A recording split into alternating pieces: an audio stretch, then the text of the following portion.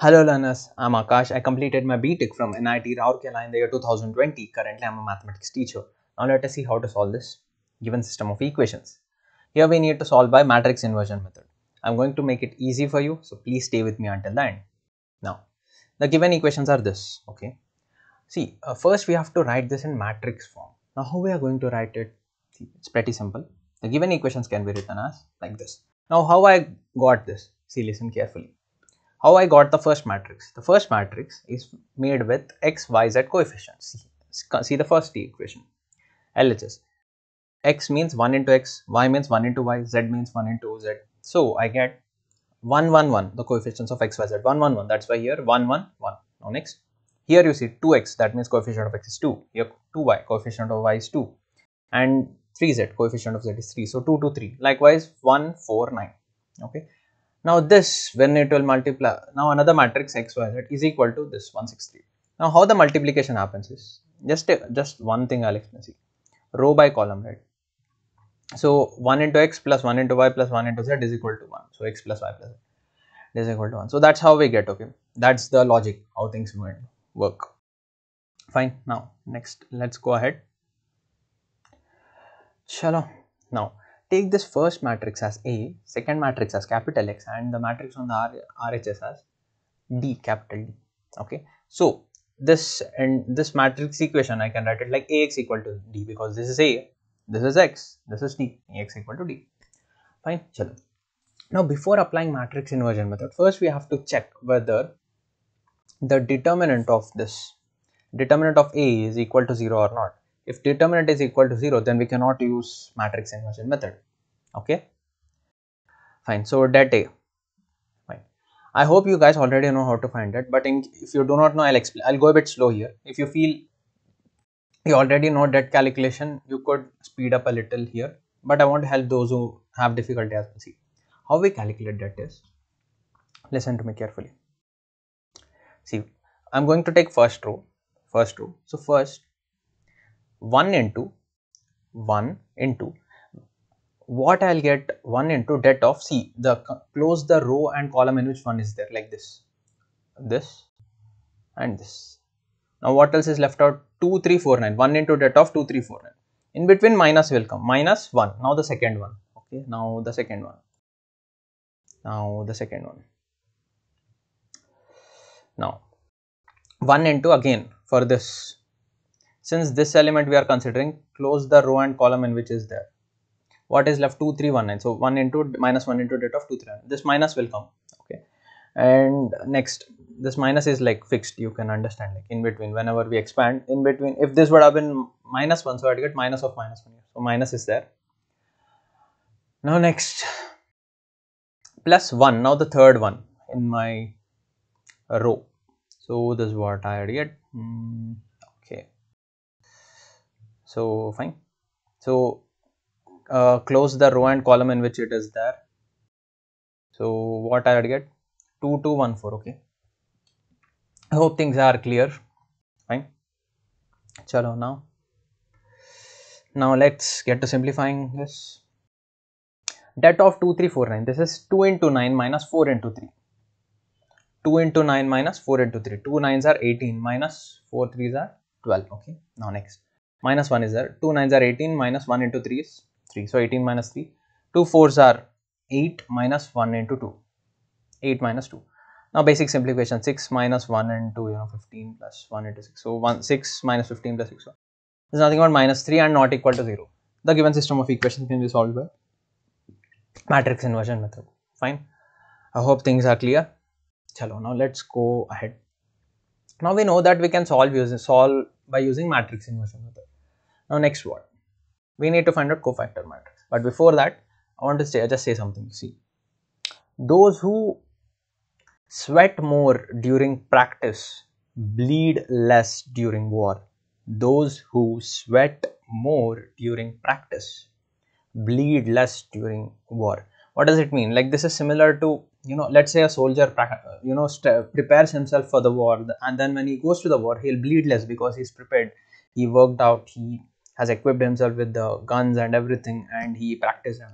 Similarly, you also before going to exam, if you practice very nicely and you're prepared then when you'll go to exam you won't get nervous you won't feel uh, you know uh, difficulties and you you can take things easily that's why if you put, put in hard effort uh, it will if you will put, work hard now you will be able to reap the results during exam and you know in the form of results because you'll do good. Now next come back. Fine we have to find out the cofactor matrix. Now what to do that how to get that is see our uh, matrix is this. We need to find out the cofactor matrix of it. Now cofactor matrix how we are going to do? See i'm going to find out cofactor of each element in this matrix like cofactor of 1 cofactor of 1 cofactor of this one cofactor of 2 now see how to find out cofactor? Listen to me carefully. This is a bit important. Cofactor of 1 is nothing but minus okay there is something like uh, i'll tell you. The formula is minus 1 power i plus j into det of uh, the remaining elements. I mean the element which you will choose if you will uh, if you'll if you'll uh, you know element remove the elements of elements in its row and column the left out ones you have to put it. For example see let's say i want to find out the cofactor of this one okay? Cofactor of this one. What is one's position? This i and j are like row and column row num row now like ij is like the position indicates the position. Like you see one is in first row first column right? That's why i is 1 and j is 1 okay? So for the for, for the for this element cofactor is minus 1 power 1 plus 1 because this one's row is 1 column is 1 that's why 1 plus this is in row 1 column 1 that's why this is 1 minus 1 power 1 plus 1 into det of now close this row, row and column like same as what we did for det. So 2 3 4 9 fine. Now minus 1 power 1 plus 1 is 2 minus 1 power 2 and 2 9s are 18 minus 12 minus 1 power even number is positive minus 1 square is 1 so that's why we would get a 1 1 into 12 my uh, 1 into 18 minus 12 is 6 so that's why i got 6 now for cofactor for this. Now if you see this element okay this one. Now i'm going now i'm finding cofactor for this for this. Okay see this is in first row second column. First row second column.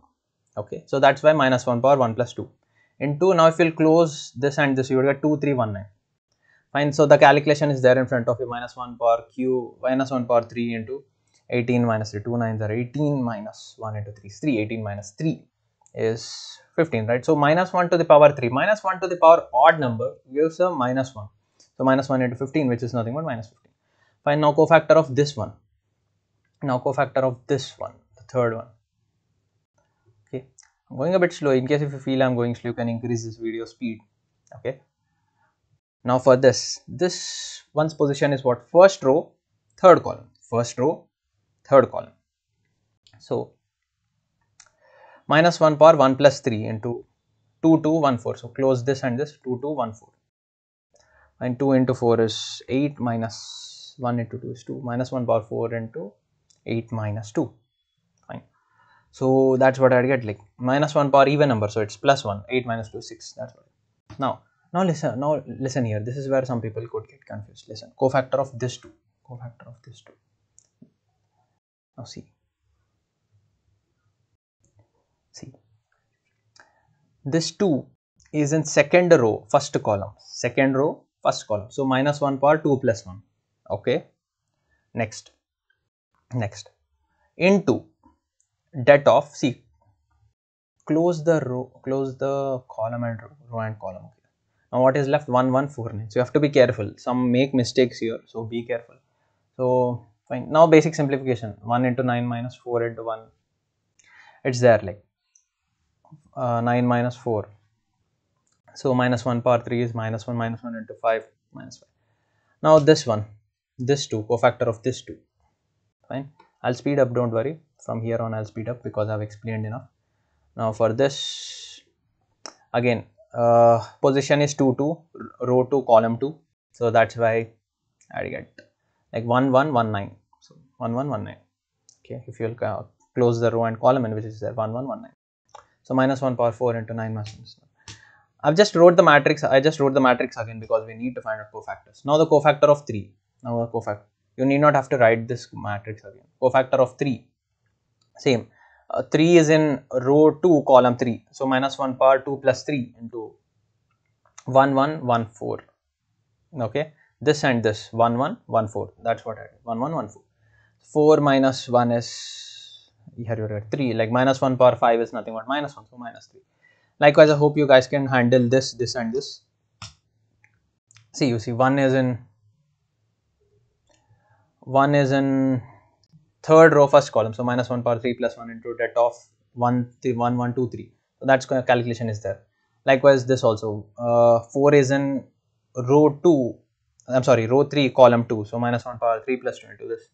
It closes 1 1 2 3 fine is there like then cofactor of 9 uh, it's in row 3 column 3 fine. So minus 1 power 3 plus 2 so this is it fine so fine now if you see we got like 9 cofactors right 6 minus 15 6 minus 5 8 uh, minus 3 and 1 minus 1 0 now the cofactor matrix is this 6 minus 15 6 minus 5 8 minus 3 1 minus 1 0 1 minus 1 0 okay in place of the element i just wrote its cofactor that's all so this is my cofactor matrix. Fine. Okay. Now next. Next. Acha, one more thing I wanted to share with all of you. See, we want something different in our life, right? Something different. But how can we expect something different when we keep doing the same thing? Listen to me carefully. If you always do what you always did, you will always get what you always got okay see it's pretty simple if you will keep doing the same thing you will keep getting the same result if you want something if you want a different result then you have to do something different.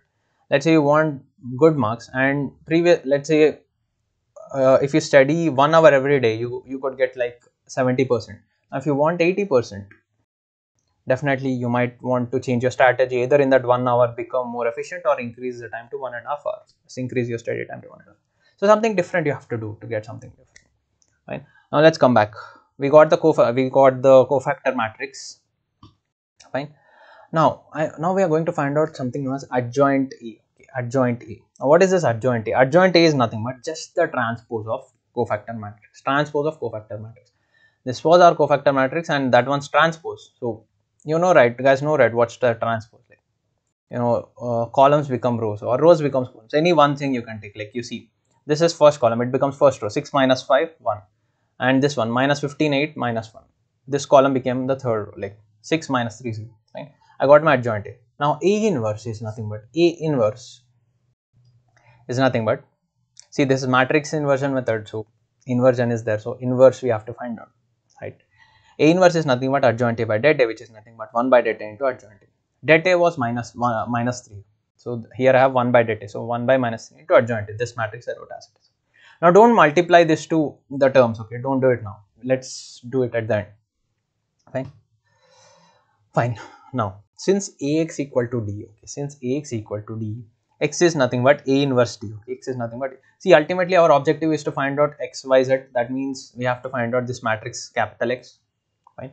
For that x is nothing but cap a inverse into d. Now why this is like that? If you want help like why why ax equal to d means x equal to a inverse d you can just ask in the comments box fine. I don't want to say that in this video. If you need help in that ask in the comments box. I'll try my best to help you out there fine so x is nothing but a inverse into d. Basically we have to multiply these two matrices a inverse and d. So x is nothing but a inverse a inverse is this. My 1 by minus 3 into this. Okay? And D is this 163 if you guys remember in the beginning I took. Hmm? So 1 by minus 3 into. Now see how I am multiplying. Be careful. This is my first row. I am going to multiply it with this first. So 6 into 1 plus minus 5 into 6 plus 1 into 3 see it's pretty clear. I have minus 15 into 1 plus 8 into 6 plus minus 1 into 3 same thing. Now 6 into 1 minus 3 into 6 fine. Now see how the multiplication works is. This is a 3 by 3 matrix the first one. 3 rows 3 columns. This is a 3 by 1 matrix. This is a 3 by 1 matrix whenever these two are multiplied uh, we'll get a 3 into 1 matrix. That's what i'm getting. 3 rows single column. If you'll solve it you i only get a single column. Fine. So now 6 minus 30 plus 3 basic simplification you guys can just see like 8 6 are 48 all the things. 6 minus 30 plus 3 like that. Just simplification. You guys can just do it on your own. Fine. Now now here also some people get a bit confused. See listen to me carefully. 6 minus 30 plus 3 6 minus 30 plus. 3 now what is this? See first you can do the positive number. 6 plus 3 is 9 now 9 minus 30 okay. 9 minus 30 is minus 21 9 minus 30 9 minus 30 is minus 21 okay.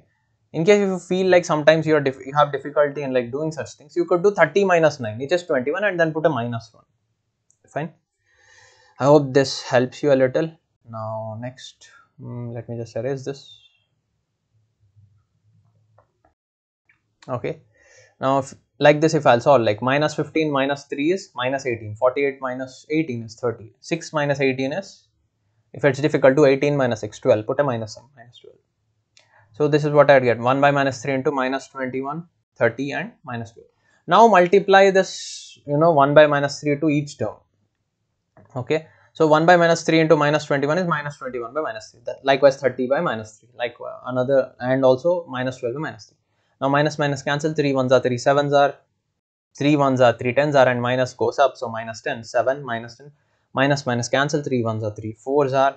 So I get 4 plus 4 here. Okay. See this is my x y z.